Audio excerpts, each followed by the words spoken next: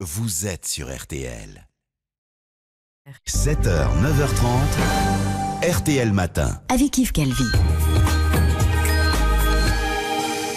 Nous allons retrouver dans quelques instants euh, Laurent Gérard, mais à 8h43 sur RTL, la revue de presse et Amandine Bégaud. Et vous nous emmenez, Amandine, ce matin dans les coulisses de l'État islamique. Oui, avec un, un reportage saisissant qui fait ce matin la une de la dépêche du midi, reportage dans le repère des frères Klein. Céline Martelet et Edith Bouvier, deux journalistes qui sont spécialistes du suivi des djihadistes français, ont retrouvé leur appartement, là même où les deux Toulousains ont sans doute revendiqué les attaques du 13 novembre 2015, celles du Bataclan et de Saint-Denis. Un appartement situé en plein centre de Raqqa, en Syrie, dans un immeuble de standing ascenseur, faux marbre, cuisine équipée, canapé moelleux, écran plat et même à jet. Clairement, les deux Français et leurs familles ont bénéficié d'un traitement particulier bien au-dessus des standards locaux. La preuve aussi, écrit Jean Souléry dans son édito, qu'un terroriste peut, en dehors de ses activités criminelles, mener une vie tout à fait normale dans son appartement, le cul sur son canapé devant sa télé.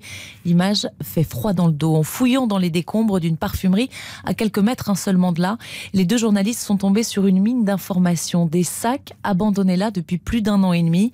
À l'intérieur, une série de documents de l'organisation terroriste, un gros cahier rouge notamment, dans lequel toutes les dépenses des combattants étrangers sont notées, nationalité, date de la demande, utilisation de la somme, tout est consigné. On peut ainsi y lire qu'Abou Othman Al-Faransi, plus connu sous le nom de Jean-Michel Klein, a reçu la somme de 5000 dollars pour des frais de mission. Un certain Abou Mohamed Al-Jazari a lui reçu régulièrement des sommes très importantes jusqu'à 200 000 dollars. Le quotidien La Croix revient lui aussi ce matin sur l'un des événements qui a marqué l'actualité ces derniers mois, l'incendie de Notre-Dame. Cela fera tout juste un mois demain, oui déjà, reportage auprès des commerçants de l'île de la Cité qui ont vu leur chiffre d'affaires dégringoler, 80% de touristes en moins dans les cafés et les boutiques du quartier. Du côté des dons, on en est aujourd'hui à presque 884 millions d'euros collectés, mais seuls 4% note La Croix sont effectifs, le reste n'est encore que des promesses. La Croix euh, qui propose par ailleurs ce matin un grand dossier sur le succès de Doctolib ou comment une start-up fondée en 2013 est en train de révolutionner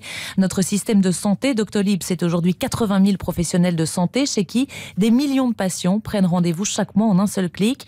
Alors si certains s'inquiètent d'une ubérisation de la médecine, d'autres se félicitent. Les patients d'abord, qui n'ont plus besoin de passer des heures au téléphone pour décrocher un rendez-vous. Les médecins aussi, fini les dérangements à répétition. Leurs secrétaires peuvent désormais se consacrer à d'autres tâches. Les abonnés au service voient aussi, c'est l'un des arguments de la plateforme, le nombre de lapins posés diminuer. Vous savez, ces patients qui prennent rendez-vous, qui ne viennent jamais et qui ne préviennent pas.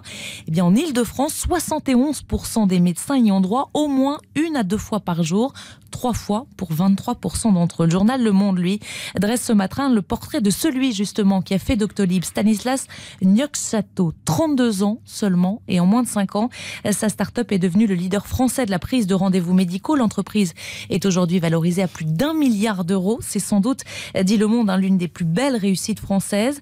Le Monde qui raconte comment ce fils et petit-fils de prof a lui-même joué les secrétaires médicales dans un premier temps pour observer au plus près le système. Sacrée revanche pour lui, qui pendant des années a souffert de bégaiement. Il y a 15 ans, raconte-t-il, je pouvais à peine aller chercher du pain à la boulangerie. Je vomissais avant chaque prise de parole. Un handicap dont il a fait un atout. Ma principale force, dit-il, vient de là. C'est ma meilleure école de vie. Sa vie à lui, c'est le cinéma.